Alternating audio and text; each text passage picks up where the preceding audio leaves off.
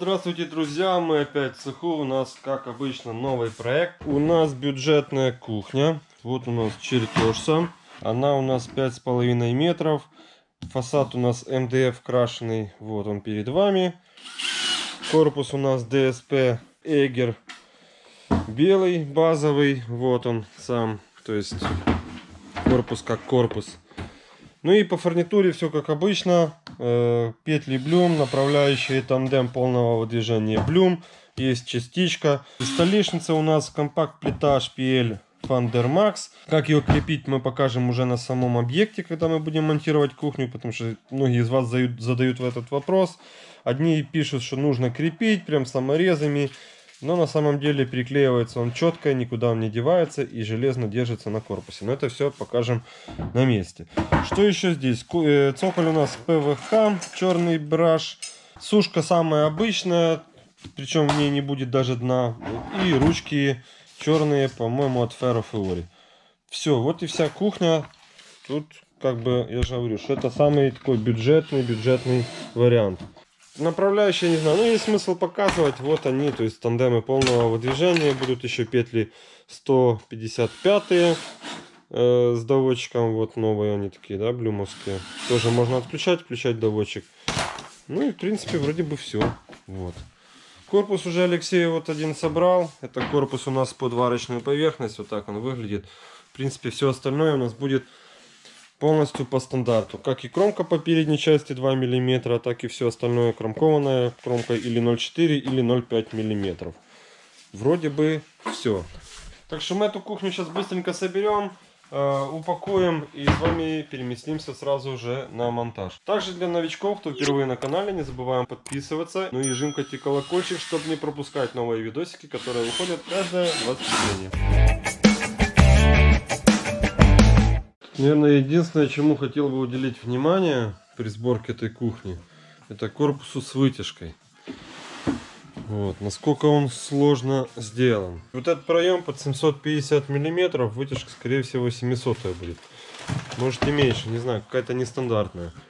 Ну и вот эти все воздуховоды, я так понимаю, все будет выходить в стену. То есть будет стоять просто угол и выводить весь воздух. Вот. Тут есть доступ к петле, конечно, регулировочка так себе, но, по крайней мере, она есть. И все вот эти передние фальш-панели, они полностью съемные. То есть можно снять как эту панель, так и вот эту панель. И иметь туда полноценный доступ. Там же будет прятаться у нас блоки питания от подсветки. Что еще интересного в этой кухне, это то, что в нас в корпусе с сушкой не будет дна вообще. То есть заказчик тут принципиально захотел. Мы сделали, в принципе, так, как он захотел. То есть у нас идет сушка с рамой. Понятно, что вы корпус видите наоборот. Э, металлическая часть подпирает ДВП. Ну и дна не будет. Единственный минус этого всего в том, что здесь нельзя проложить светодиодную ленту. То есть подсветки в этом месте абсолютно никакой не будет. Но если все-таки хочется в таком исполнении сделать подсветку, то есть чтобы она была в профиле, да, или там в ручке, тогда сушка получается немножко опускается. Здесь добавляются две, скажем так, царги, и в них как раз вот можно проложить профиль для светодиодной ленты. Или же по передней части делать, тоже с притоплением, и поставить голопрофиль под светодиодную ленту. То есть вот таким образом можно как бы выйти из этой ситуации, это если подсветка нужна. Также, смотрите, ящики тандемы у нас здесь полного выдвижения. Вот. И э, у нас уже тут есть передняя царга. Почему? Потому что у нас фрезерованный МДФ фасад, это первое. И второе, на него нельзя сделать присадку. Именно э, есть ограничение производства. Поэтому тут у нас уже ящик цельно собранный. Далее на него уже будет крепиться сам МДФный фасад. То есть на обычные 30-е саморезы. Единственное, с чем нужно быть аккуратным, это то, чтобы э, в местах, где есть филенки, э, не пройти саморезом навсквозь. Ну, на всякий случай, знаете, как бывает. Вот. В принципе, тут все. Фасады мы сейчас быстренько накидаем, запакуем и с вами уже точно перемещаемся на монтаж. Друзья, мы приехали уже на монтаж. Напомню еще раз, что кухня у нас, то есть чертежи кухни, вот они какие. У нас есть отдельно стоящий пенал, он как раз будет в нише. Ну и сама кухня у нас прямая, то есть без всяких углов. Вот. Будет два пенала, то есть встроенный холодильник Samsung. Будем закрывать котел. Надеюсь, что вырезы у нас сделаны правильно и мы на месте практически ничего вырезать не будем. Э, Кухня у нас ложится, то есть верхние секции ложатся на плитку. Единственная беда это гипсокартон. Есть гипсокартон, вопрос закладной непонятен, потому что заказчик говорит, вроде бы как делали, а вроде бы и не делали. А сами корпуса у нас такие, будь здоров, то есть массивные.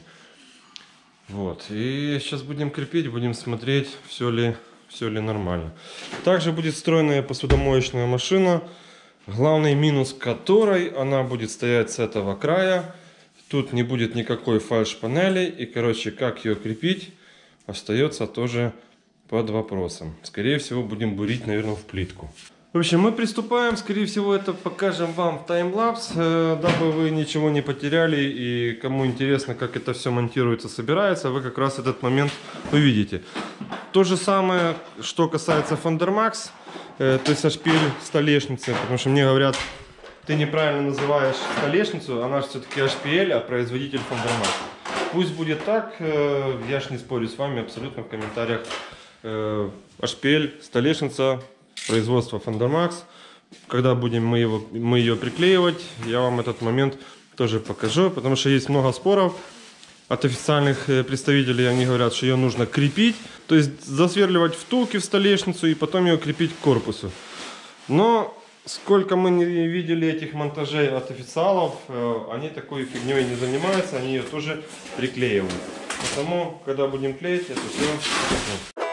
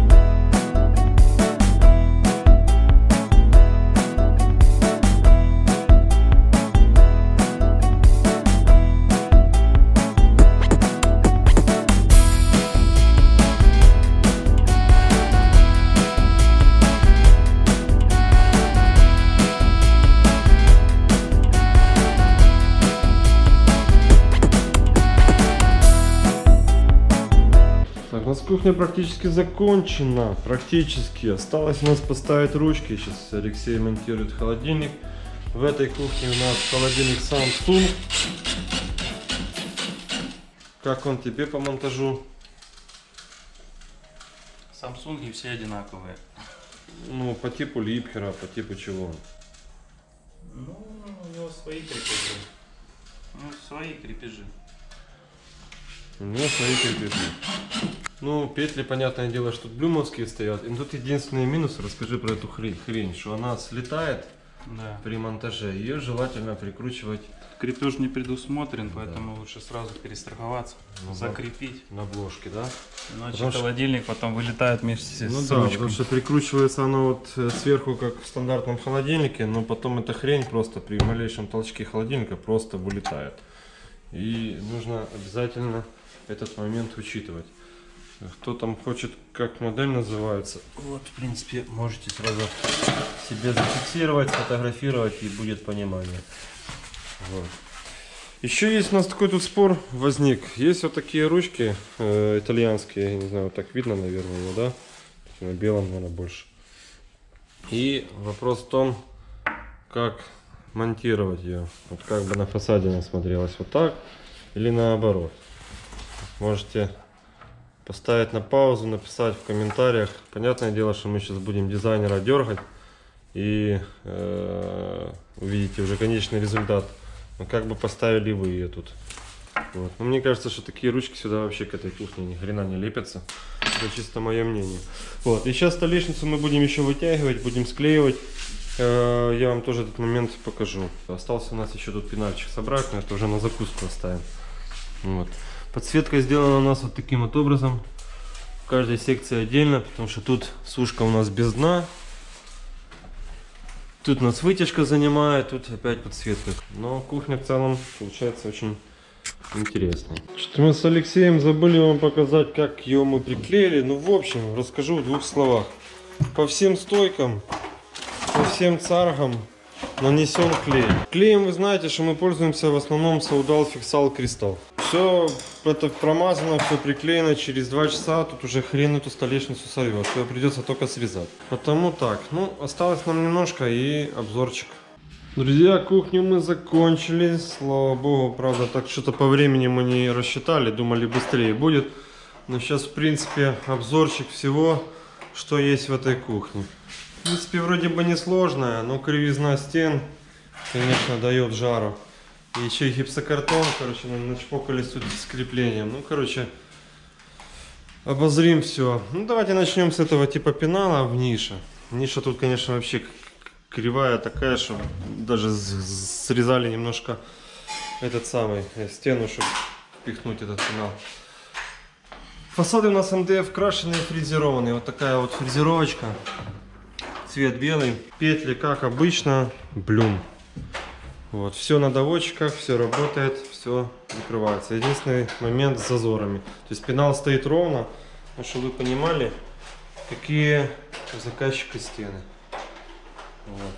Причем по, по обе стороны вот такая штука. Так, дальше у нас сама уже кухня. Здесь все распашное, тоже такие ручки вот интересные, видите, все-таки вот так мы их разместили, то есть будут пользоваться так.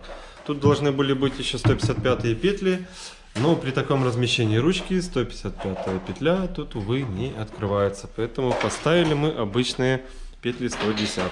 Вот. Так, сушка, корпус сушкой, да, корпус сушкой без дна. Там есть ребята, которые писали, что это должно быть так правильно. Ну, вот, в общем, угодил, наверное, вам. Так, корпус э, с вытяжкой. Вытяжка встроенная.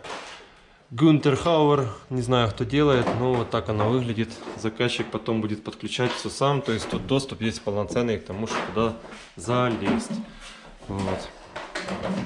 Далее просто открытый. Тут уже, видите, стоит петля нормальная.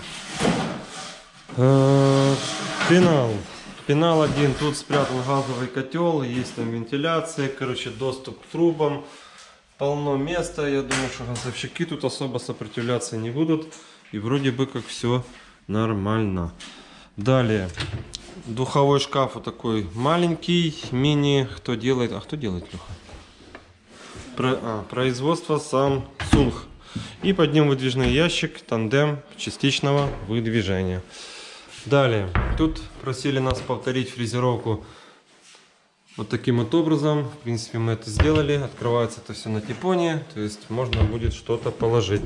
Холодильник тоже Samsung. Вот такой вот. Строится. Единственное, что он...